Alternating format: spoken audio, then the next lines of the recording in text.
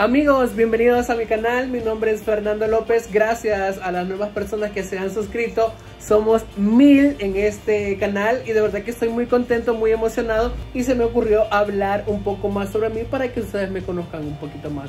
Eh, en mi Instagram eh, abrí preguntas y pues le voy a dar lectura a algunas de ellas y voy a contar cosas que aún ustedes no conocían.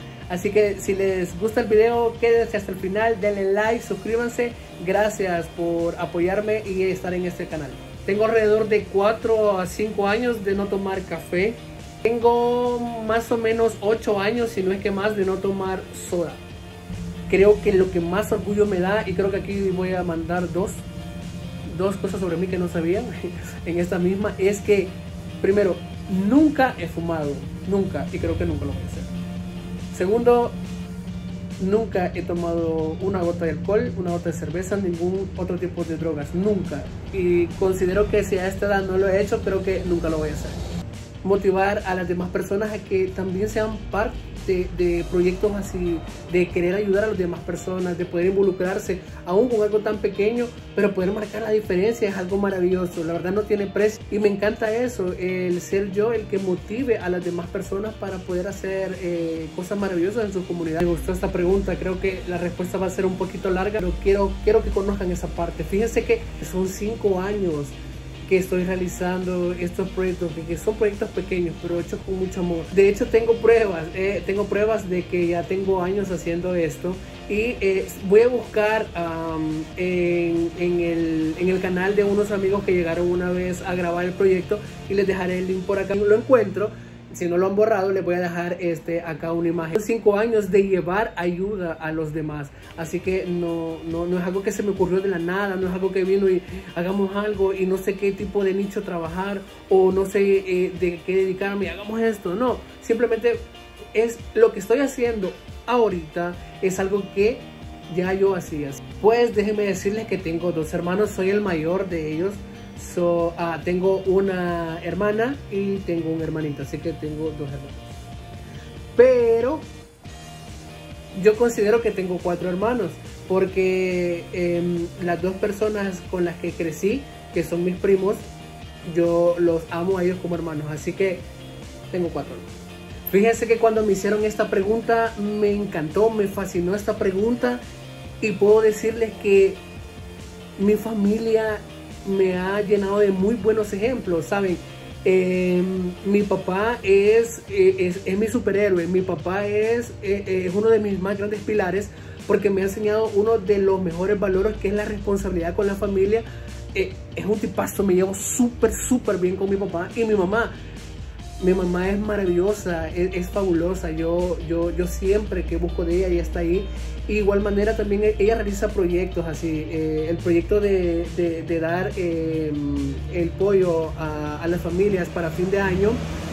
Bueno, ese, ese proyecto es de ella y ese otros proyectos que también ella hace.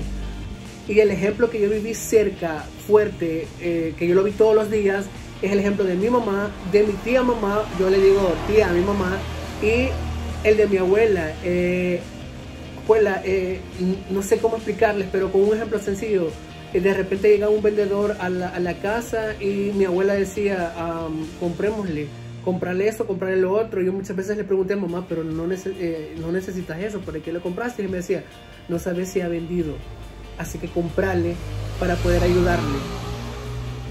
Me encantaba esa parte. Te comento otra llegaba el vendedor a la hora del mediodía eh, y de repente le preguntaba, no lo conocía y de repente le preguntaba y le decía, ¿ya almorzó? Y no solo le daba la comida, sino que a un desconocido lo invitaba a entrar a nuestra casa y le servía a nuestra mesa. Y eso es algo que, que me marcó, me encantó de la abuela y siempre fue así. Mi tía mamá lo heredó también y yo crecí con ese ejemplo, así que les puedo decir, he estado rodeado de, ejemplos maravillosos en mi familia. No sé si todos esos maravillosos ejemplos de los cuales yo he estado sumergido me, ha hecho crear ese sentimiento maravilloso que es el ayudar al prójimo todo y cuando se pueda. Así que mi respuesta es que todos, todos, absolutamente todos, pero el ejemplo de mi maravillosa abuela, ese ejemplo nunca lo voy a olvidar. Fíjense que enfermería, yo decidí estudiar enfermería por el trabajo actual que yo tengo. Ah, trabajo en la unidad de salud en el área rural, atiendo dos sectores están a mi cargo y de los cuales ese trabajo me ha permitido a mí poder enamorarme del hecho de poder llegar, poder marcar la diferencia con, atenciones pequeñas, ser ese factor que cambie el día a día de las, de las personas. Entonces, ese trabajo me ha permitido a mí encontrar mi verdadera vocación, ¿sí? Y eso, y eso fue lo que me impulsó y me motivó a iniciar los estudios para poder aumentar el conocimiento y poder atender de una mejor manera a esa población. Eso fue lo que me motivó a estudiar enfermería. Fíjense que ya lo he pensado, de veras que lo he pensado, pero me da un poquito de cosa porque voy a sentir bien feo el buscar la ayuda eh, y que me rechacen, me digan no. De hecho, le pregunté a un amigo si me quería ayudar eh, con algo tan pequeño y su respuesta fue, le voy a preguntar a, fulano, le voy a preguntar a no sé qué. Eh, yo sentí que fue eh, evadir la, la, la, propuesta que yo le había hecho. Entonces, sí me encantaría, me encantaría muchísimo, pero me da bastante pena, les, les confieso que sí me da bastante pena el llegar, tocar y decirle, dame una oportunidad, eh, hagamos un dúo, de verdad me da un poquito de pena, aunque por supuesto me encantaría muchísimo.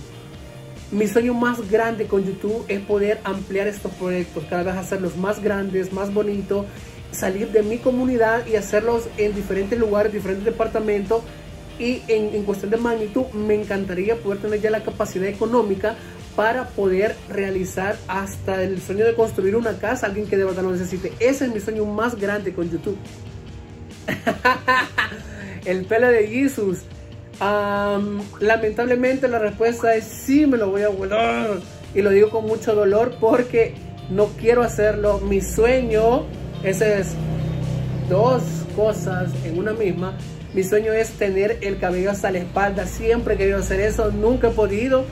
Y, lamentablemente lo voy a tener que hacer cuando ya vayamos a clases presenciales porque la universidad no lo permite por la carrera.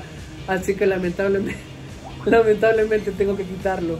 ¿Qué hago mi tiempo libre? Fíjense que el poquito tiempo que me queda a veces disponible, porque hago otras cosas más, lo ocupo para ver anime y hacer un poquito de ejercicio. Buena pregunta. Eh, fíjense que como mi trabajo es de campo, eh, utilizo la excusa de la gorra por el sol, así que ahí trato de, ocultarlo. Ah, ahí es súper. Pero en la universidad no puedo, pero como al momento todavía estamos en clases en línea, Así que no se me complica ahorita estar con el cabello largo porque pues no estamos yendo eh, presencial a la universidad. Fíjense que no, yo creo, yo considero que soy de esas personas que tiene un buen umbral del dolor porque no me molesta, aún las ligas tampoco lo hacen. Lo que sí me tiene un poquito ya chino, lo que ya quisiera que ya terminara, la médico me dijera, eh, quítatelo ya por fin. Sí me molesta y no me termino de acostumbrar, es un bloque que ando acá, eh, les juro que eso no termino de acostumbrarme y me encantaría que me lo quitaran, pero a las de ayer. Híjole, híjole, la experiencia más fuerte. Mm, fíjense que tengo una bien fuerte y una un poquito chistosa. En resumidas, en una de la, una cortita resumida chistosa, es que estaba vacunando un niño de 4 años que ya están grandecitos, tienen bastante fuerza y le tienen un pánico horrible a las vacunas y solo estaba la abuela. La abuela me ayudó a tener al, al nene, pero se estaba moviendo mucho. El niño gritaba, pero gritaba horrible.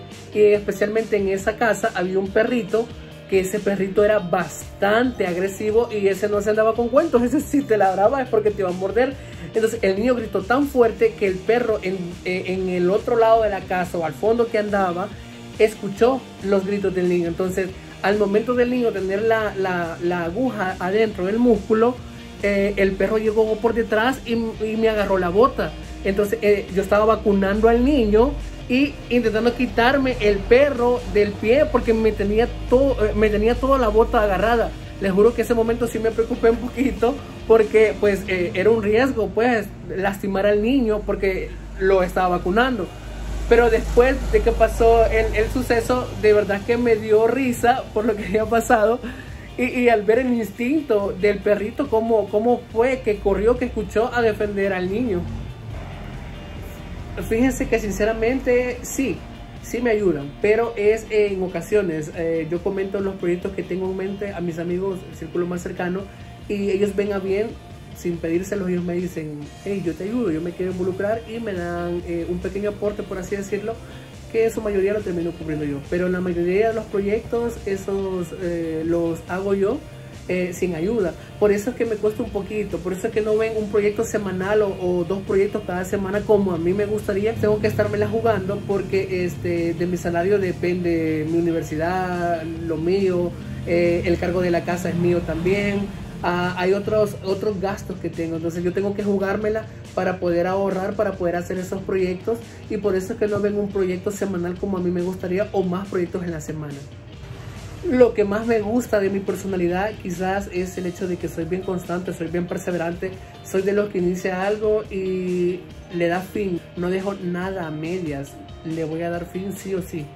Creo que esa parte me encanta de mi personalidad, la constancia que tengo con respecto a mis proyectos. A nivel personal, mi sueño más grande, fíjense que les puedo decir, no es nada material, no es nada a nivel académico, no es nada de todo eso que se imaginan es algo un poquito más personal. Mm, quizás es algo chiquito, algo que todos ustedes hacen, algo que todos quizás lo viven, otros no, otros sí.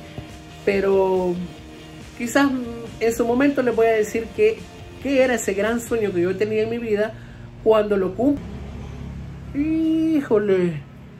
Ah, esa pregunta mm, está bien bonita. Fíjense que yo respeto todas las doctrinas y todos los credos de ambas iglesias, de todas las iglesias que hay. Pero mi concepto de Dios es diferente a como las iglesias lo enseñan. Eh, es un poquito diferente y dejémoslo hasta ahí para no entrar en, en tema de discusión. Al finalizar este ciclo, si no dejo materias y hasta el momento no he dejado materias en AU, me faltaría un año. Terminando este ciclo me faltaría un año para poder egresar se lo juro que ya quiero salir de la universidad, estar trabajando, estudiando y haciendo las otras actividades personales que realizo me ha tocado bastante, bastante pesado. He querido muchas veces tirar la toalla, no les voy a negar, pero se puede, se puede, claro que se puede y ya casi, casi, casi sobre mi vida en la unidad. Sin duda les puedo decir que ese trabajo me ha cambiado la vida para bien, me ha hecho comprender, entender más que pequeñas cosas hacen la diferencia. El poder yo llegar, entrar en la intimidad del, paciente, de su casa, es algo muy maravilloso y poder hacer la diferencia sobre todo.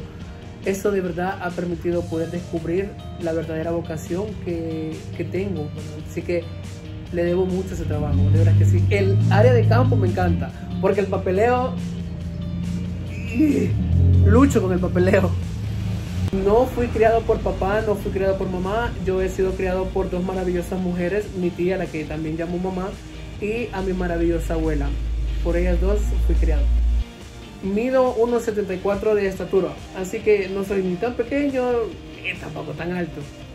No me gustan los videojuegos, no sé por qué, no le encuentro el toque, no le encuentro el gusto, no me gustan. A pesar de ser uno de los que más molestaba en el aula eh, de, todos los años, nunca dejé ningún año, nunca lo aplacé. Fíjense que me gusta ir al cine solo. Si me dan a elegir entre playa o montaña, prefiero mil veces montaña. No mucho me gusta el fútbol. Eh, veo tal vez los partidos más importantes, tal vez una semifinal, o una final pero que me gusta así, wow, me gusta el fútbol, no mucho. Siempre he querido tener el cabello largo, siempre lo quise, mi abuela nunca me dejó. La película que me ha hecho llorar es, es Hashi. Esa película la intenté ver una segunda vez y pasó exactamente lo mismo. Lo más horrible que me ha pasado es verme caído de una bicicleta eh, cuando tenía entre 9, 11 años lo cual eso provocó que fuera a parar un mes al hospital porque sí fue bastante feo la acción. Películas que más me gustan son las de Marvel. Si soy el padre de una niña, quiero ponerle el nombre de mi abuela. Y nadie de mi familia tiene permitido utilizar ese nombre. me da pena hablar en público, me da pena horrible, yo empiezo a sudar horrible porque me da una gran pena y la pena de, de grabar todavía no se me ha quitado y yo creo que va a ser difícil, difícil poder quitarlo. La serie de televisión que más me gustó cuando estaba pequeño y la miraba así o sí era Drake y Josh. El género musical que más me gusta es el rock. Me gusta el rock, el rock clásico.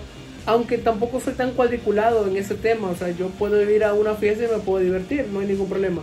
Mi serie favorita hoy, ya de grande, sin duda, Juego de Tronos. Esa serie me encantó, me encantó. De hecho, recuerdo que cuando eh, iba a salir el capítulo estreno, yo apagaba el teléfono para que ni el teléfono me interrumpiera. Tengo dos perritos. Tengo a Kurama, que es por Naruto, y tengo a Summer, que es por Juego de Tronos. Mi comida favorita, sin duda, es la chuleta ahumada de cerdo. Cuando estaba adolescente era loco Converse. Eh, tenía muchos pares de Converse de los diferentes colores. Cuando salía me ponía un, zapato de otro color y llegué también al punto en el cual mi, mamá se enojaba en el que el, zapato estaba totalmente nuevo y yo lo rompía. Recuerdo que uno eh, le abrí el hoyo en forma de estrella, una gran estrella. Eh, cogí tres trozos de, de, tela, los cosí para poder ponerlos atrás de la, de la estrella, para que la estrella se mirara de colores. Estaba totalmente nuevo el zapato. Mi mamá siempre dio eso. Soy de las personas que tiene que tener mínimo cuatro o cinco almohadas o más si se puede. Dejo dos atrás y siempre tengo que tener una abrazada. Entre chocolate negro y chocolate blanco, prefiero el chocolate blanco. Me encanta ver anime. Yo amo ver anime. Una serie corta de 15, 20 capítulos en un día. Rápido, rapidísimo.